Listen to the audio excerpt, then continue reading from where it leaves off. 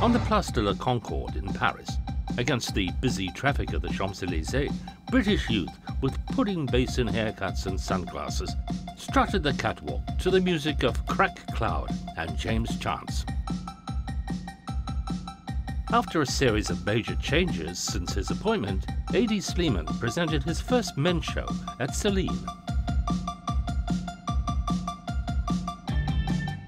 Tweeds, Donegals, and cashmere overcoats worn over Celine tailored suits or leather jackets defined Hedi's research into suspended proportions.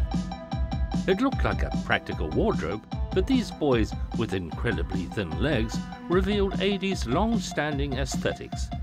How many of you are ready to lose weight to fit into these clothes?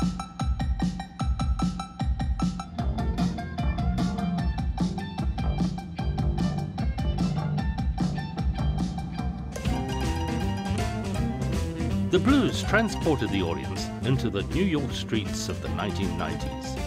This was the show where men's artistic director Virgil Abloh presented his second collection for Louis Vuitton. Virgil reflected the power of streetwear and modernity. Models wore large suits or baggy cargo pants, defining the coolest New York boys.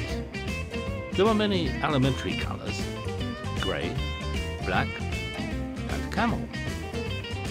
Besides, large areas of purple, red, and fluorescent colors were certainly eye-catching. The crystal beaded white gloves were no doubt a tribute to the legendary Michael Jackson. Louis Vuitton's iconic monogram was a constant. Handbags, backpacks, and trunks were all very impressive.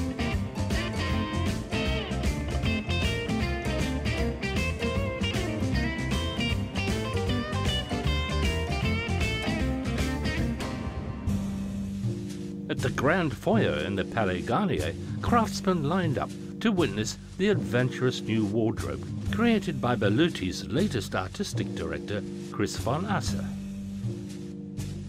The patina technique, the essential craft of Berluti's traditional leather shoes, was applied to the clothes, inspiring calfskin and jacquard suits C'est un costume patiné, patiné comme les souliers ont toujours, euh, l'ont toujours été, mais la patine, on n'avait jamais réussi à le travailler sur le prêt-à-porter, donc c'est une nouvelle technique un peu adaptée de la, chaussure, mais c'est sans doute le, message le plus clair.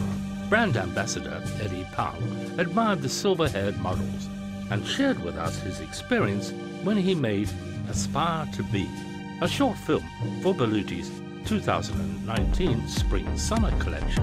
年长的 model，哦，我觉得好有型。觉得如果以后我我也有到这种程度，有这种魅力，我也可以演这种角色。Brody 团队还有设计总监 Chris，他其实对于这个整个的 idea，他想了很很久。我们开了好几次会。那我一直问说，我你想我怎么演？他就说，其实你不要演，他就说你就拍。他想要拍最真实的我，有一种。一个人跟自己对话的感觉。